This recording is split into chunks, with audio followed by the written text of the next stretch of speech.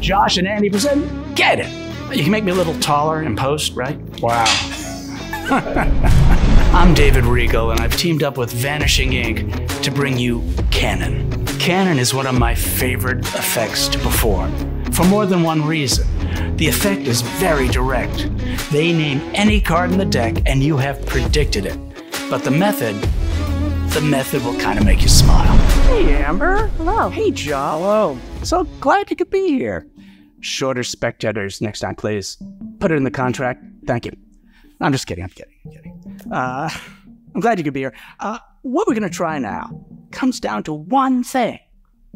One thing only. And that's naming a card. Any one of the 52 cards, which one shall it be? I'm terrified. Um, it's gonna be the four of diamonds. Four of diamonds. Oh, four of diamonds, four of diamonds, four of diamonds. To me, four, four diamonds. four diamonds. Now, I didn't want to influence you in any way. Did I influence you in any way? No, you didn't. Really? I was trying. I didn't? Do you want to switch it for another card other than the four of diamonds?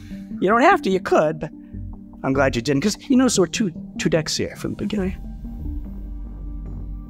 That's a little bit of a lie. This deck is a little too light.